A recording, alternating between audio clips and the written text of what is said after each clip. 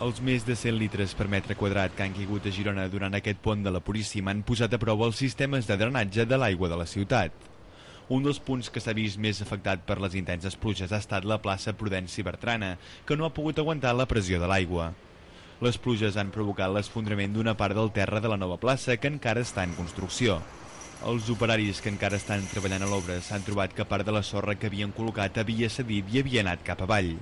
Totes les zones que s'han vist afectades pel pes de la pluja encara no estaven acabades i corresponen a àrees per vianants i han aixecat part de les llambordes que ja estaven col·locades. L'acumulació de pluja ha fet que no s'acabés de compactar bé el terra i per aquest motiu hagi cedit el terreny. Quan estigui sec, els operaris seguiran amb les obres i tornaran a reconstruir el terra de les noves places al sector Govell de Besa, que s'han esfondrat amb el temporal d'aquests dies.